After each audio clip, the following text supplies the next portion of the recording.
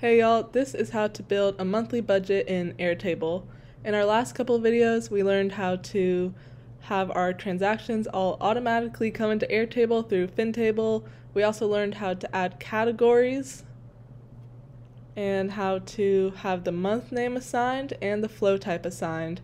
And now we want to make an actual budget because what we have here is great, but really all we have is our categories, which is our yearly expenses and I don't really need to know how much I spend on stuff for a year. What I'm more interested is a specific category in a specific month. So what we're going to do, I'm going to show you how to build something like this. So for September, I have all of my categories and I can see um, exactly in different months how much I spent for um, each category, which is very helpful.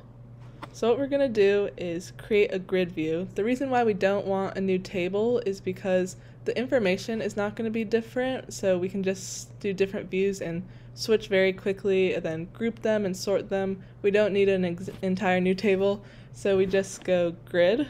And let's do it for um, September. We're going to create new view. And when you create the new view, you're going to have all of the um, columns that you've already hidden from your grid view. So right now, my grid view looks pretty clean. We have about seven columns, but now on my new one, we have, for example, European dollars, euros. I don't really need to know how many euros I spent here in the US, so we're gonna go hide fields. I'm gonna hide, basically, we'll keep um, month name, but hide basically all the fields that we're not gonna wanna see. What I'm really interested in is how much I spent, the category. I like to have vendor, the date of purchase, and then the month name. So this is what we have so far. But as you can see, we have September, August, July. We only want September. So what we're going to do is we're going to go filter, add condition. We're going to change our location, so our where, to month name, contains, you can type in September, And now we only have our September um, transactions. That's awesome. Next, we're going to want to sort it by category. So, how you do that, you're actually not going to go sort because sort is just going to order it. We're going to group. And we say group by category. There we go. That's awesome. So, this is how much we spent on clothes in September. This is how much we spent on eating out. And if you want to know maybe how much you spend on an average each time you eat out, all you have to do is um, click this, click your sum, and then you can change it to average. Spend an average of nine bucks. That's not too bad if, if I do say so myself. I'm gonna go back to sum. And let's just say you've been doing this for years. So you have 2023, 2022, 2021. But right now we only want to see 2023. What you're going to want to do is add another filter and do add condition. It won't affect this first one. And we're going to change it to date is before. And I'm going to do this for all of 2023 just in case you wanted to do a view where you can change the month easily and just have it for 2023. So we can pick our date is before then we're going to add another. Oh, is before. We're actually going to want to do, pardon, is before the first. Don't want to exclude that one day of transactions. That Christmas spending adds up. We're going to do after.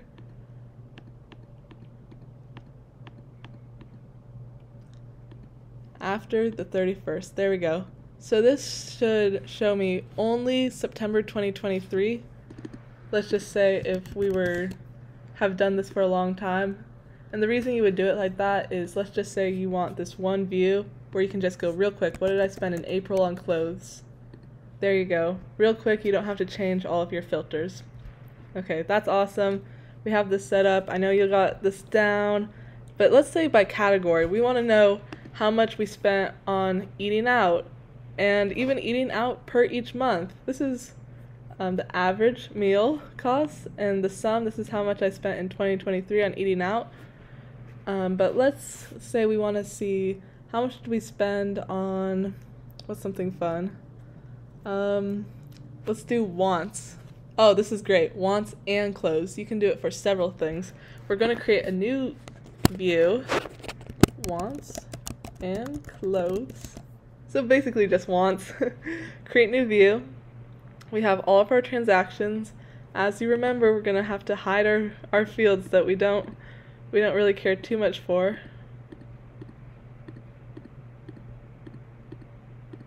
I'm leaving month number. I'll show you why in a sec and we're going to add a filter, add condition where our category has any of. We're going to do clothes and wants. This is awesome because you can play around with this function and you can do, uh, let's just say you wanted to know how much do you spend on everything besides food. You could do um, does not contain food and groceries or you can have a lot of fun with it. So now we have all of our transactions for food and wants from 2023. And let's just say we want to see um, what our costs are each month. What we're going to do is group. And what I've done here, this formula I've extracted from our date that has automatically come through FinTable.